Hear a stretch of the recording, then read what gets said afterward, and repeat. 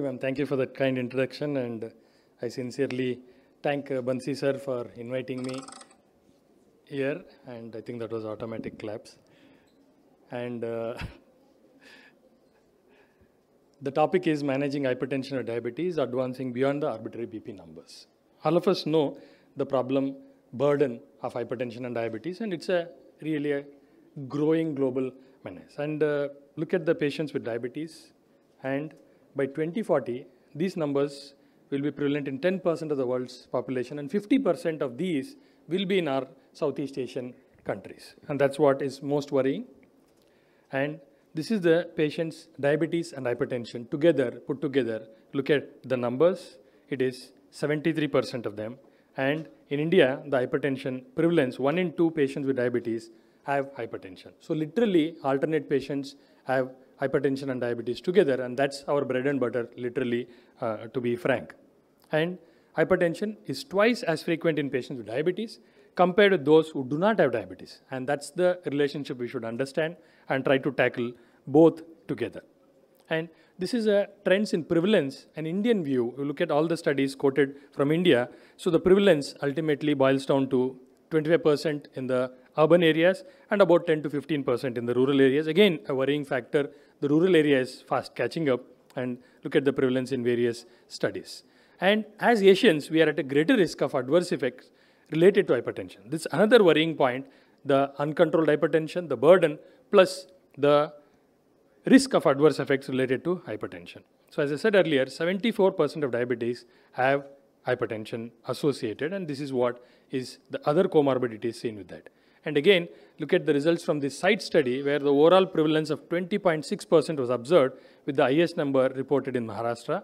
This is something, again, to be worried about, and we know hypertension increases the risk of diabetes complications as well. So look at these relative risk uh, complications on the right-hand side, diabetes versus no diabetes, and that's very, very important. And diabetes plus BP versus diabetes alone, look at the relative risk in, increase with the CHD, stroke, retinopathy, all the other complications. And of course, proportion of diabetic complications attributable, attributable to hypertension, just to tell you the attributable risk is, with respect to stroke is 75% and CAD 35 end stage renal disease, one of the commonest problems we face, which literally doesn't have any treatment with us, and that is 50%. High diseases and leg amputation, again, are 35% each. So the excess cardiovascular risk in diabetes is attributable to coexistent hypertension. And participants with hypertension at the time of diabetes diagnosis had a higher rates of all-cause mortality and cardiovascular disease than did people with diabetes without hypertension. Again, another worrying factor. And look at the all-cause mortality the plus 72% when these two combine together and cardiovascular is plus 57%. And that's something all of us should be aware about.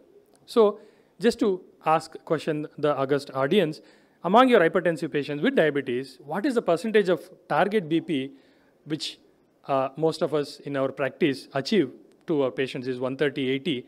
Do you achieve literally these numbers? I think it's about 20 to 40% to be frank in my practice uh, uh, also for various reasons, of course.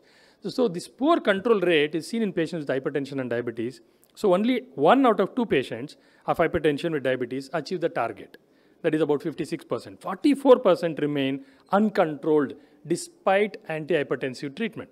So patients are seven times more likely to remain uncontrolled due to non-adherence of the medication. That's the point I want to highlight, the non-adherence, non-compatibility with the treatment.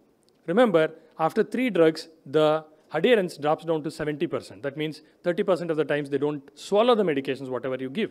So that's something all of us should remember. The compliance adherence is what factor we should consider, apart from the which uh, you use. So majority of the diabetic patients have uncontrolled hypertension despite therapy. Again, I'm showing the Western data. We just saw the Indian data as well. So the poor control rate of hypertension among patients of diabetes are due to several clinical conditions. And diabetic patients renders a patient high risk for renal and CV complications. All of are aware. Possibility of resistance to antihypertensive therapy in the treatment of uh, diabetics would be probably change in the RAS activity, the central sympathetic hyperactivity, which as Indians we have little more sympathetic tone, the volume overload, lower BP goal, and the last one is a poor compliance. Again, a major factor in our busy practice. None of us stress, none of us ask them about the time of uh, the antihypertensive therapy or the consistency of swallowing the pills. We do not bother about. I think that's something all of us should be catering to our patients about the poor compliance with respect to the anti-diabetic therapy. So what percentage of your hypertensive patients with diabetes are treated with a single pill combination? This is to overcome that poor compliance and the adherence part. 20, 20 to 40, 40 to 60. I mean, most of us, again, do not choose the ideal combination or the single pill combinations in our practice. So it will be as low as 20 to 40%. So we need to aggressively manage the hyperglycemia and hypertension, both with the same intensity. And remember, the chasing A1C will not translate into the cardiovascular benefits as you chase the BP. 10 millimeters of systolic BP can bring down 50% of cardiovascular risk. And that's the amount you get benefit translate to your patients if you control the BP tightly rather than chasing your HbA1c. That's something all of us should remember in our practice. So what does the international guidance recommend as an antihypertensive treatment? It's a RAS plus diuretic combination. Both ISH and ADA talks about that and look at the ADA statement, two drug or SPC, single pill combinations are recommended now by the bodies, though in India we've been using from ages all these complications, I mean the combinations of drugs.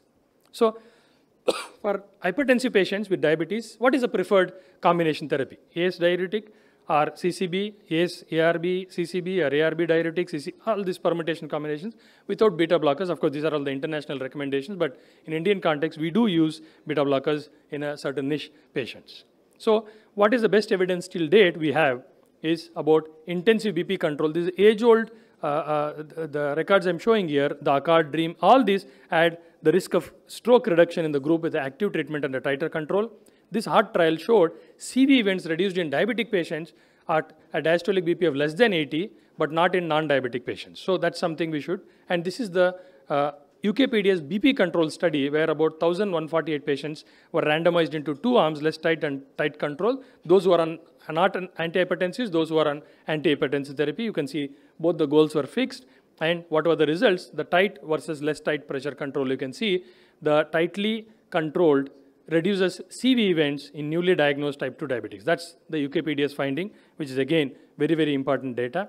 And this is the CV benefits you get, whether the reduction of heart failure, the amputation, or microvascular endpoints. All these extracted from the UKPDS hypertension harm, and this is the benefits we get out of uh, tight control of hypertension.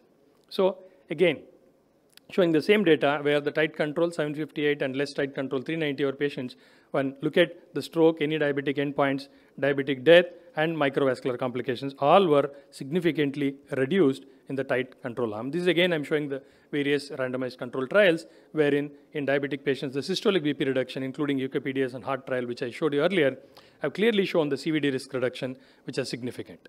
So let us talk about quickly about the advanced BP lowering, the forgotten twin combination, which been there based on these trials, which we have already neglected so far. And remember, Advance had about 500 Indian patients also. It was a landmark trial with 11,000 plus patients. Primary endpoints, macrovascular outcomes, and microvascular new or worsening nephropathy and diabetic eye disease, I can see. That was the secondary endpoints. And significant reduction in CV and renal endpoints with perindopril indapamide was seen. You can see there combined micro and macrovascular events reduction. The primary endpoint, total coronary, total renal events, and very significant. You know, you can see the p-value significance there. And both these were significantly the total renal events and the primary endpoint of MACE events were reduced 9% and 21% respectively. And this is the summary of renal benefits in the other trials called PREVENT, REGRESS, and RETARD, where the USUR was basically more than 150 and it normalized. Further comments about the end organ benefits of perindopril and indapamide is the proof of vascular legacy. These patients were followed up for 10 years and there was a CV mortality of 12% and all-cause mortality of 9% reduction even after following for 10 years. That was called as advanced on uh, segment. And in this hypertensive patients with diabetes, the SPC should be initiated early and continued long-term at the optimum dose of sustained vascular benefits. So this meta-analysis clearly shows that the effect of ACE versus ARBs in the all-cause mortality, CV deaths, and CV events in patients with diabetes, you can very clearly see the ACE versus placebo and the active treatment, the risk reduction with respect to the primary endpoints are significant. Some of them are significant with the, statistically, And ARBs versus placebo definitely is something which we need to think about because there is no solid data so far with respect to the ARBs. So ACE inhibitors reduced all-cause mortality, CV mortality, major CV events in patients with diabetes. This is the Cochrane review, which is again, we know the value of Cochrane review whenever it is published, the antihypertensive agents for preventing diabetic kidney disease. So you can see there, outcome in the ACE group versus no treatment group, new onset kidney disease, all-cause mortality, doubling of serum creatinine and blood pressure reduction. You can see the number of studies they've reviewed, and they found that the ACE inhibitors prevent new onset diabetic kidney disease and death, and in normo-albuminuric people with diabetes, compared with placebo, and benefits from ARBs, you can see on the right-hand side, for people with diabetes should be interpreted with little caution. Now, strong and relevant outcomes of advanced versus ARB studies, you can clearly see again there, the SPC of perindopril indapamide had a reduction in renal outcome by 21%, reduction in mortality by 18 and 14% respectively. Whereas on target roadmap with olmesartan, telmisartan, irbesartan, you can see the reduction in mortality was not seen, though there is a reduction in renal outcomes in all these trials. What about the evidence of BP reduction with perindopril and indapamide combination? This is the latest publication in 2021, where the significant BP reduction with perindopril and indapamide with the pooled analysis in diabetic patients was, was clearly seen. You can see the systolic and diastolic BP reduction. And patients uncontrolled on perindopril indapamide, additional advantage of switching to triple drug. Again, we're talking about compliance here and the combination of synergistic combinations of triple drug with perindopril, indapamide, and amlodipine, which clearly showing the strong BP reduction along with good mortality benefit. This is called as a proof study, and there is one more study called pianist study, wherein the reduction is 37 and 17 systolic and diastolic respectively, very clearly, and these are comparable to your advanced study as well. This is our own Indian study, which was published in JAPI. We were part of this clinical trial also. Mean BP reduced by about 30 by 15 millimeters of mercury in a span of two months. End of 60 days, the patients reached this target. We had about 218 patients, and it was a very significant study with 91% compliance rate and 99% patient satisfaction.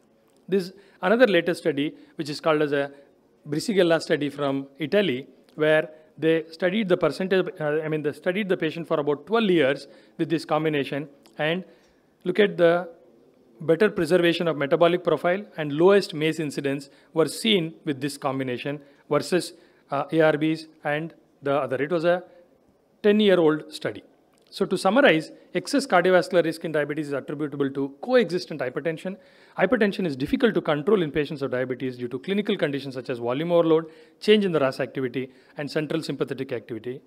The advanced trial clearly showed that, showed that the perindopril indapamide provide significant CV and renal benefits that are sustained over a long time. And in view of differential benefits on mortality and morbidity, ACE inhibitors uh, appear preferable, which most of the bodies also say ACE inhibitors slash ARBs. And new pooled analysis suggests that SPC of perindopril indapamide is very effective in reduction of BP as early as two months in our Indian context. And this triple drug combination with perindopril indapamide amlodipine provides strong BP reduction and Treatment with this triple drug shows uh, total mortality reduction by about 28%. Thank you very much for patient hearing.